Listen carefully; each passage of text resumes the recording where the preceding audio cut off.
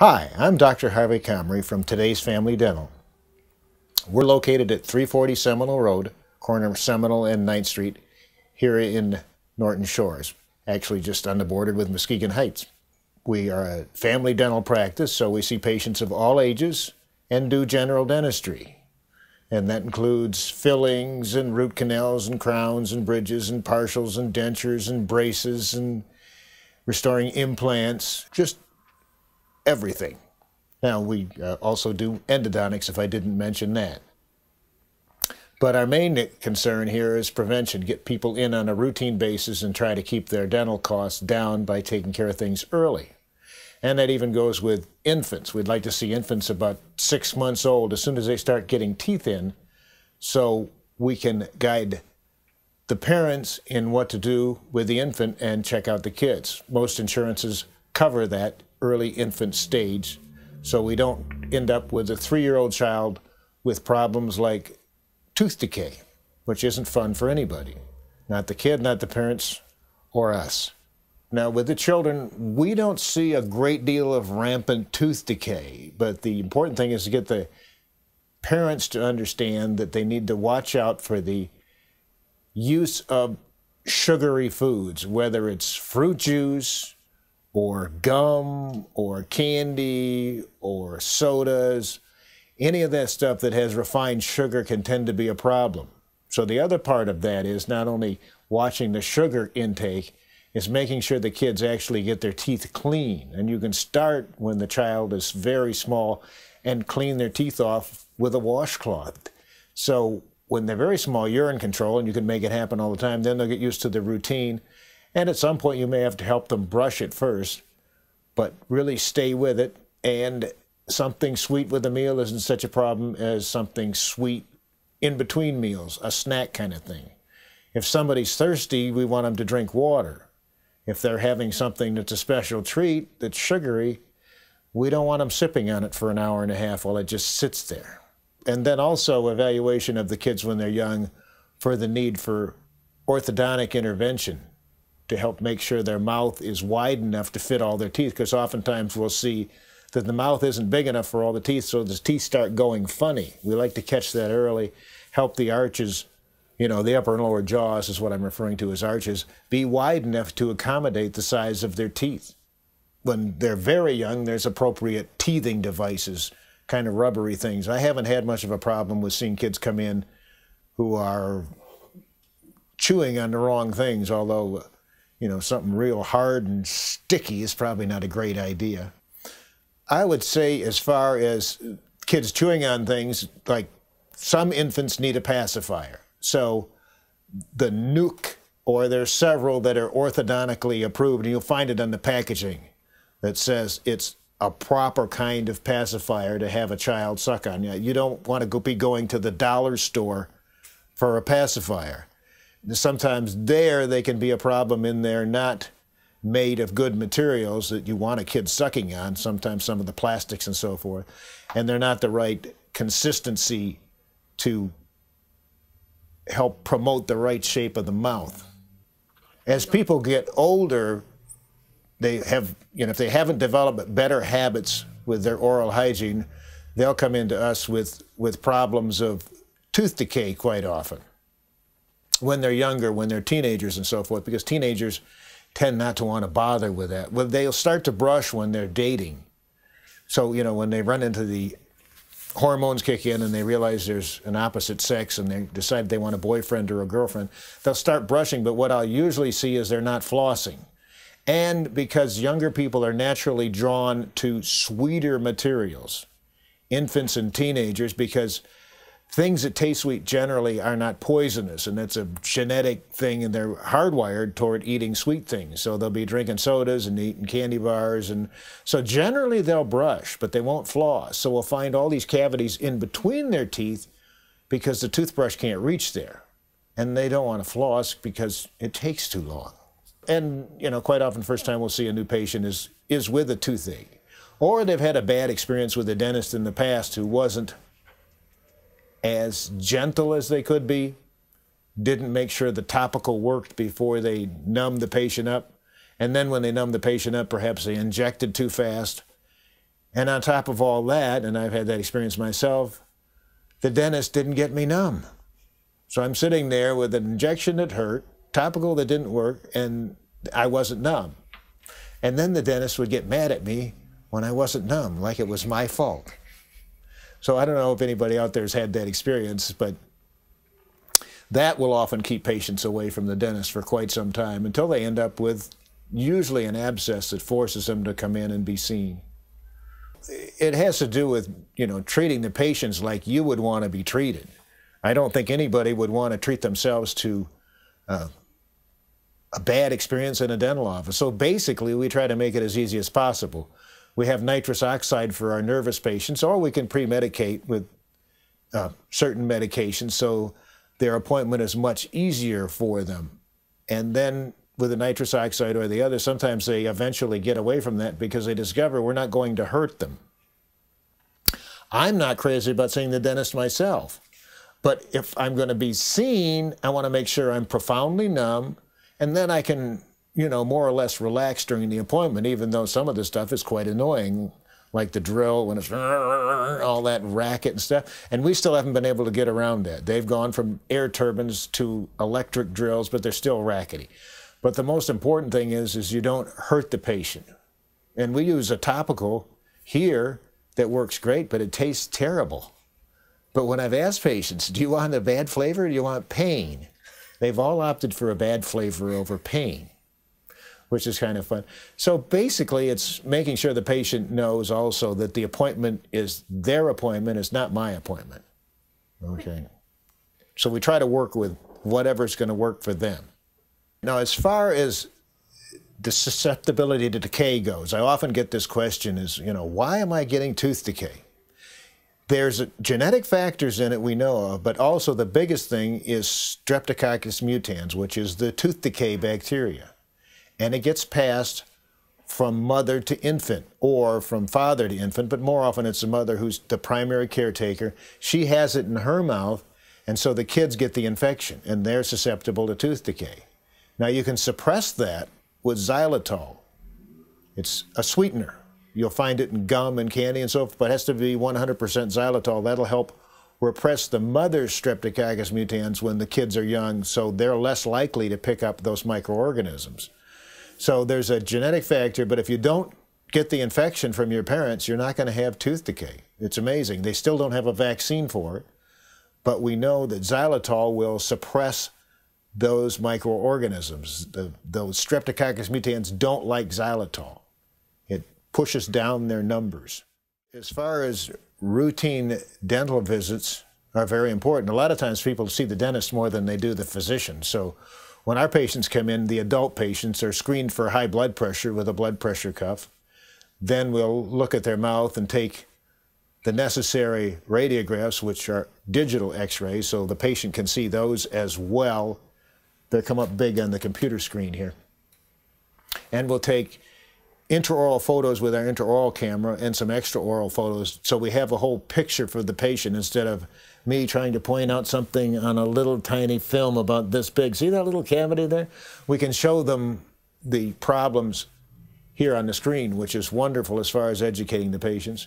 And we check out their periodontal health, which is the attachment of the bone and gum around the teeth. So we make sure there's adequate bone and gum to keep the teeth in the mouth, which there usually is.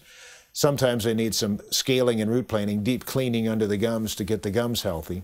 And check for non-vital teeth or impacted wisdom teeth or all of the problems. And then if they're really concerned about it, we might do a real small appointment first to get them used to our procedures here at the office, but none of it is and if somebody wants to start with a certain tooth first that's driving them crazy, we'll start with that tooth. In the early ages, with most people, the chief problem is tooth decay. So that's for, you know, the infants, the kids in elementary school and high school, even through their 20s, most people don't have much trouble with their gums. They'll have a little gingivitis because they're not keeping their teeth clean enough. So that's when you just have bleeding from the gums where there hasn't been any other adverse effect. But if that plaque is left on the teeth, which is what forms when you don't keep them clean, there's plaque that forms on the outside of the teeth and in between the teeth where the floss goes to help clean that out, that can become what we call periodontitis, which is the next step after just gingivitis. Now, that's an inflammation of the gums. It has nothing to do with tooth decay. And periodontitis has been around as long as man has been around. Tooth decay is a more recent development with refined sugar. When, when humans were just foraging out in the forest eating roots and nuts and berries and all that, they didn't have a problem with tooth decay. But there's always been a problem with periodontal disease by not keeping your teeth clean. Those microorganisms tend to build up in a plaque and irritate the tissues and cause the gum to move away from the tooth. Well, when it gets down to a certain point, it reaches the bone level and the bone starts to go away because of the plaque that's in there causing the periodontal disease. And also you'll get that tooth tartar buildup, or what we call calculus. So that adds up, and then the plaque gets in the tartar, that's the hardened form of calculus, and that comes from calcium in your saliva that hits the unfavorable environment of the bacterial infection and causes the calcium to precipitate out of the saliva where otherwise it would stay suspended and hardens it up and makes this, you know, build up on the teeth. The other thing that seems to cause a lot of problems for patients is sodas that are sweetened. Now, there's even some concern about un well, sugar-free soda, even the diet stuff is worried about consumption of too much because to make that beverage have fizz, they put carbon dioxide in it, which turns it into a mild acid, carbonic acid, which the teeth are made out of calcium. And if you want to get rid of calcium, you pour acid on it. So people who drink excessive amounts of soda, whether it's diet or not, can actually wash the calcium out of the teeth and make them just eventually disappear and get softened and they'll go, wear down faster. Now, I don't see a lot of this in my office, but I've heard about it in other offices. So our chief concern has been sodas between meals. If you're drinking a pop with a meal, it's not a problem because you're eating food and it'll pick it up and help hold that sugar so it doesn't get on the teeth. The amount of sugar in sodas is just horrendous. We have a graphic here at the office, but there'll be like 12 teaspoons of sugar in one can of Mountain Dew, or is it orange? You know, orange soda. With a meal, it's not a problem. It's just sipping between meals. Diabetic patients are more subject to infection. So usually our diabetic patients, if they're being good, aren't really having a problem with tooth decay, but they will have a problem with gum disease. So the periodontal disease, where the gums and the bone are lost, tends to occur more rapidly in diabetic patients who are uncontrolled. If their diabetes is uncontrolled, they can have flare-ups in the mouth and accelerate the bone loss and actual tooth loss, so they end up in dentures. As far as tooth decay goes, if they are staying away from the sugar, they shouldn't have a problem. But if they're getting into sugar, then they'll get tooth decay. So that's the main area of concern is periodontal disease. Now, as far as genders go, mothers and the kids come in to see the dentist. The men tend to not come in and see the dentist because they tend not to see the physician either. It's like, eh, I'll do that later, uh, maybe another time. So they tend to get in trouble before they come in. Uh, but, you know, there's no reason that men can't come in. But usually the, the wife picks the dentist and the husband eventually gets dragged in here because she goes after him. Come on, come on, you got to go see the dentist. So yeah, there is a gender difference. It's usually women who are more concerned about taking care of the kids first, and then they're already here. They can't very well get out of it. Now, we've talked about periodontal disease, and we've talked about tooth decay, and we haven't talked about a, a, subject that often comes up, and that's jaw joint problems, otherwise known as TMJ problems. And they have come up with a new device for TMJ sufferers that we place a lot of. It's called an NTI TSS, and it's a small device that goes in the front of the mouth to keep people from clenching and grinding their teeth at night. I find that most people are having problems with their jaw joints because during the night they're clenching and grinding their teeth, or clenching or grinding, either both or either or.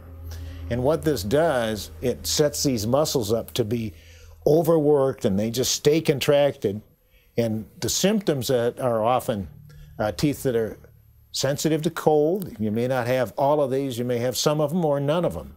Headaches, uh, pain by the ears, uh, jaws that tend to open and get stuck open and they can't close or they have to work them around to close them, or jaws where they can't open very wide. They can uh, uh, open like this. And usually the NTI device that won't allow them to clench or grind at night eliminates the problems. It's kind of like a splint for a broken arm. And some patients wear them every night and some wear them just some nights. If I have a very difficult case, I'll refer it to a colleague, but I find that most of my patients who are having TMJ problems have to do with stress.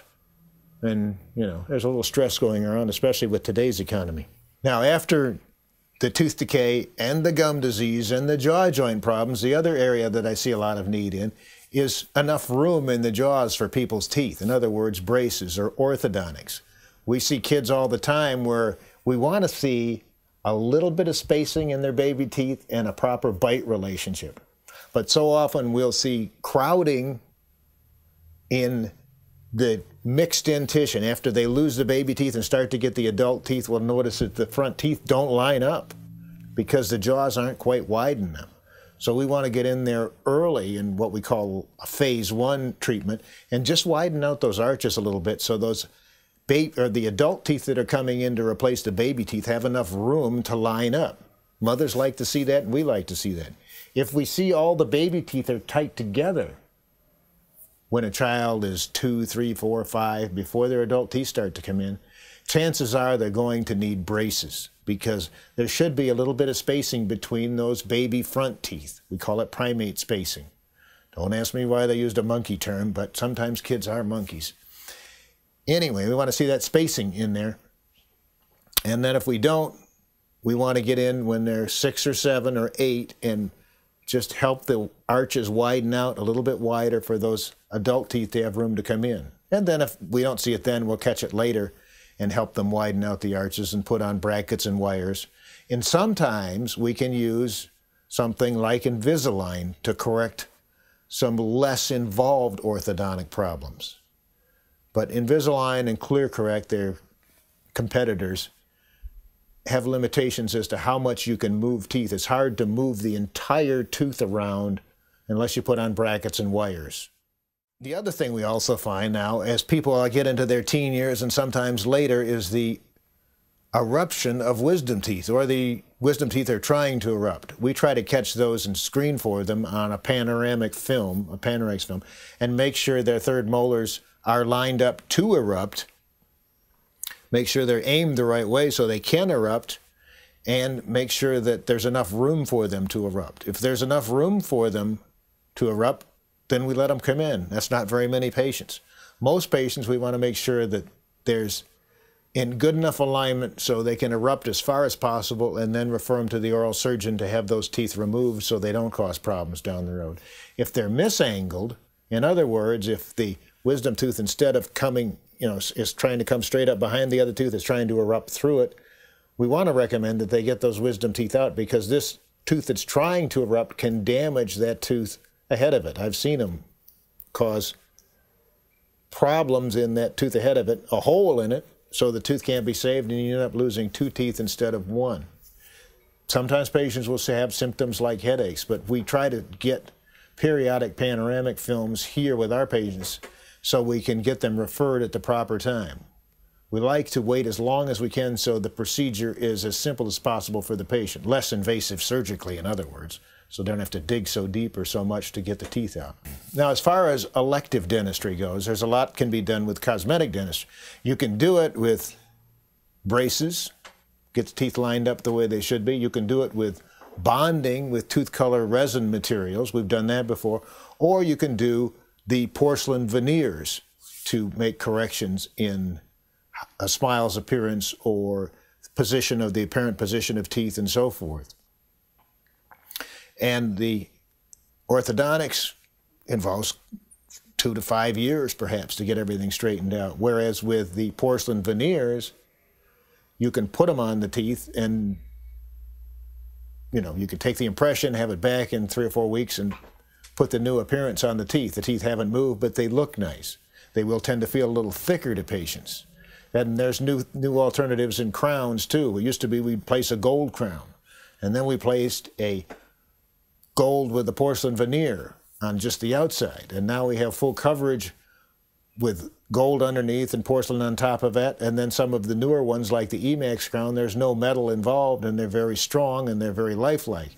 And you don't have to do as much tooth reduction with some of those newer materials. You're not cutting away as much tooth. And then the advent of, instead of completely enclosing the tooth with a crown, you can cover part of it and the rest of it, and then do what we call an onlay. So this the cusps are covered up and protected instead of cutting way down to the gums. So they're less invasive that way. So that a lot of changes have occurred in dentistry. And as far as the cosmetic stuff goes, uh, there's also simply bleaching as far as lightening the teeth up goes. People want whiter teeth. You can do that at home with Crest White Strips, so we can do it here at the office with a set of trays, or even here at the office chair side. If somebody doesn't want to bother with the trays, we can use a far stronger formulation of peroxide gel on the teeth and lighten them up quicker. Now, sometimes people will come in as a new patient and they're missing teeth. And there's several alternatives with missing teeth. If they have good bone support around their teeth, they can have either implants, which is an artificial root structure placed down in the bone, allowed to heal, and we put a fixture on it that we can put a crown on it so it looks like a natural tooth, and that's one for one. There's also bridges where the tooth on each side of the space is reduced like to receive a crown, and between those two crowns, there's a replacement tooth, and that's cemented in. The other alternative is a removable partial denture. So it's like part of a denture with the little clasps arms on it and wires, and you can replace teeth, you know, two or three different ways, just depending on the case. So we always go over all the choices with the patients, the, the pros and the cons, and the benefits and the risks and the cost and all that, and comfort level, because an implant's going to be nicer than a bridge, and a bridge is going to be nicer than a partial denture. But some patients don't want to have a lot of things done in their mouth, and they'd rather have something like a partial denture that's done mostly at the laboratory and we just deliver it and they'll deal with a little bit of food that gets stuck underneath it.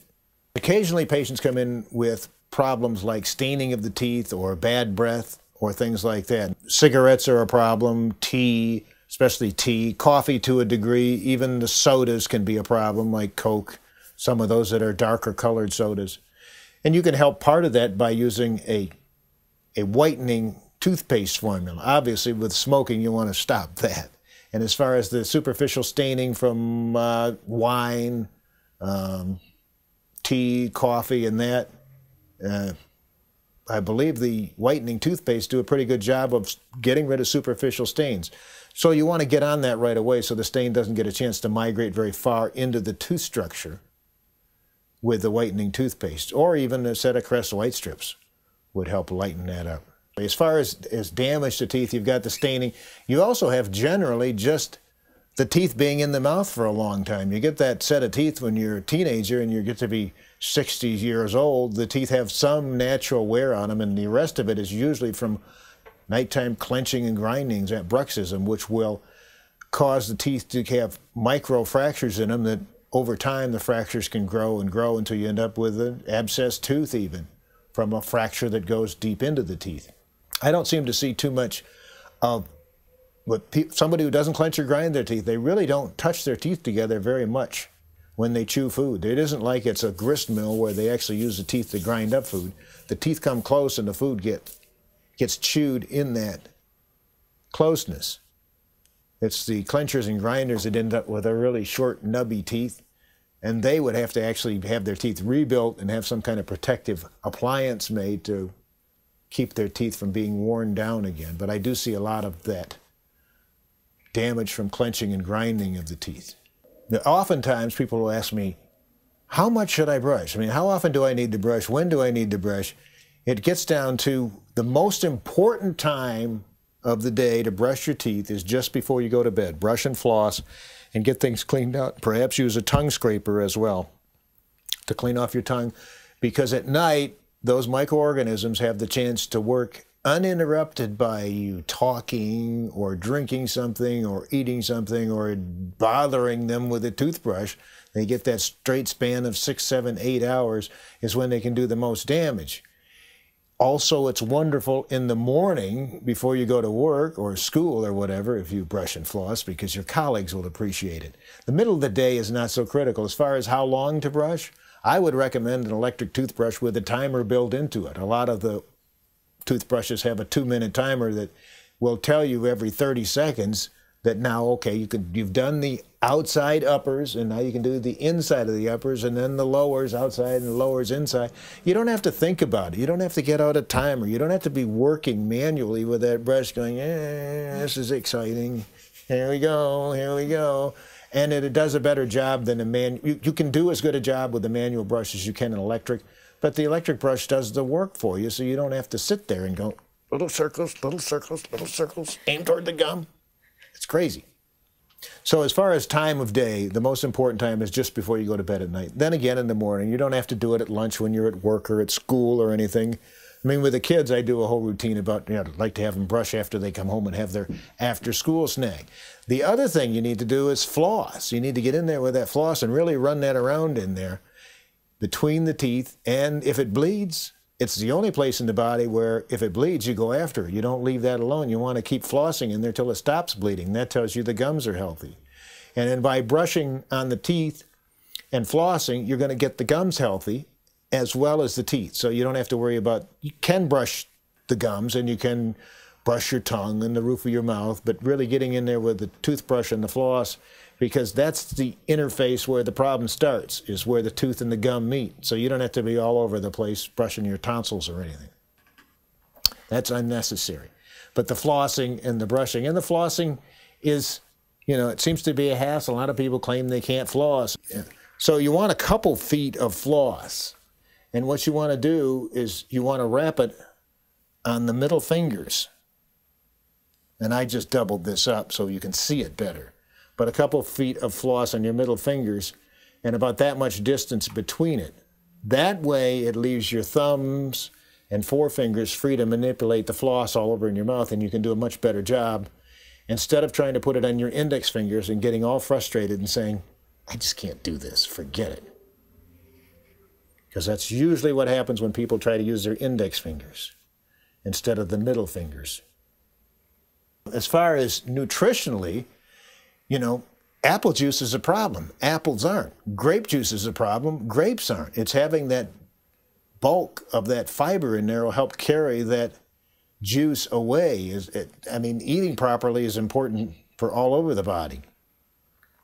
And also these microorganisms that like to live under your gums are the same ones they find plugging up your blood vessels. So that's why you want to get in there and floss and get that stuff out from under your gums. You don't want a whole pile of it there. So, you know, Whole Foods, not, I don't mean Whole Foods, the market, but, you know, whole grains and fruits and all this kind of stuff isn't going to make a problem as far as tooth decay goes. Refined sugar will. Now, as far as the general populace, they probably should be seen every six months, although there are patients we have that we see just once a year because they have excellent oral health and dental hygiene, and we don't need to see them every six months. But it, they six months came about just because of a toothpaste commercial at one time, but it happens to be a good interval for most patients to be seen every six months. Sometimes patients need to be seen every three months, and sometimes it's once a year. And as far as indicators that you need to be seen, if you start to have sensitivity to sweets, to cold, if you notice that you know your gums swell up, or even worse yet, your teeth are starting to move especially for our older adult patients. You know, if the centrals used to be right here and the ones kind of kicking out now are sticking down, that's a definite indication you have problems. In closing, I would like to encourage all patients to get in to see a dentist on a regular basis because it's going to save you grief down the road. If you're not in at all, you may end up with a painful situation, and you probably will if you're not seen and taken care of. And whatever dentist you want to see, you're certainly welcome to come to today's family dentist. That, dental, that's wonderful, and see us. But do get in and make sure you get your infants in so they can have a good lifetime of dental health instead of a lifetime of problems. Because nobody wants to have to see the kids with tooth decay and problems.